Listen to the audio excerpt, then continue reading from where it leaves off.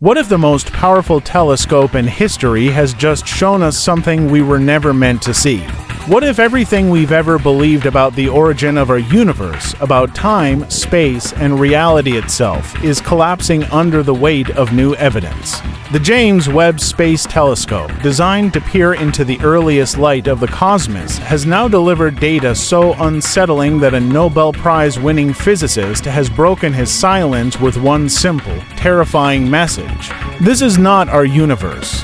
What exactly did the James Webb Telescope find at the very edge of everything?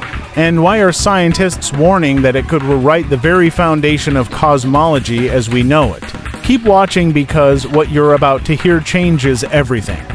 In a corner of the sky filled with ancient light, the James Webb Telescope captured what looked like a simple yellow splotch. But when astronomers took a closer look, their assumptions collapsed. That tiny glowing blob wasn't just another galaxy, it was the most distant galaxy ever seen, formed just 290 million years after the supposed birth of the universe. But here's the impossible part. It's too massive, too bright, and to evolve to have formed so soon after the Big Bang. By our current theories, there simply wasn't enough time or matter to form galaxies like this in the early universe. And yet, here it is. And it's not alone. Webb has now found dozens more just like it. Each one is a cosmic paradox, breaking every rule we thought we understood about the early universe. Scientists began to dig deeper, and what they found was even stranger. Some of these early universe objects aren't just massive, they're completely foreign to anything we've seen before. Unlike normal galaxies, which convert about 10% of their gas into stars, Webb discovered at least three galaxies that have turned 100% of their matter into stars. No gas, no dust, just pure blazing starlight? That's not just unusual. It's impossible according to every existing model of galaxy formation. So now scientists are asking a far more terrifying question what if these aren't galaxies at all? What if we're not seeing the early universe, but something else entirely? A structure from another dimension, a remnant of a previous cosmos, or an intrusion from another universe altogether. To understand why this is shaking cosmology to its core, we need to talk about the Hubble sphere and the observable universe. The farther away an object is, the faster it moves away from us due to the expansion of space. At a certain point, called the Hubble sphere, galaxies are moving away from us faster than the speed of light. Common sense says we shouldn't be able to see those galaxies. Yet, we can. That's because space itself is expanding and the boundary of what we can see keeps stretching. But beyond that boundary lies something terrifying a region of the universe that we will never reach and that will never reach us. And yet, the James Webb Telescope is now picking up light and signals from these impossible zones, light that should never have reached us. Which leads to one conclusion we are seeing beyond the edge of our universe, and no one knows what lies on the other side. Webb's data is forcing scientists to ask the unthinkable what if the universe never had a beginning? Some Nobel laureates are now openly questioning the Big Bang model. Because if galaxies could form faster than physics allows, if light can reach us from beyond cosmic boundaries, and if structures appear that defy time, scale, and mass, then maybe we've misunderstood everything. Maybe the early universe isn't early at all. Maybe what we're seeing isn't a timeline, but a fracture. A place where two universes overlap, or worse, where something far older than our universe is bleeding through. Whatever it is, it doesn't fit into our models, and it never will. Among the James Webb Telescope's most overlooked discoveries is not a visual image, but a strange frequency.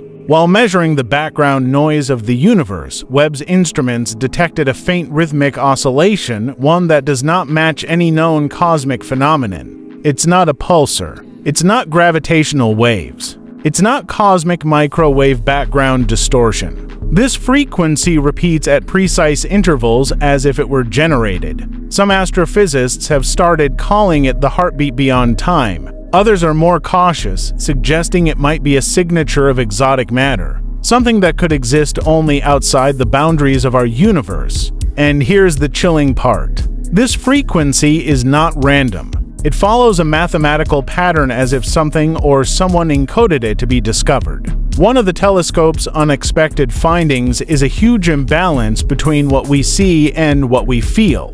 Galaxies located at the farthest distances appear to have enough gravity to bend light, distort space, and even affect surrounding structures. Yet, no visible matter is present. This isn't just dark matter, it's something else.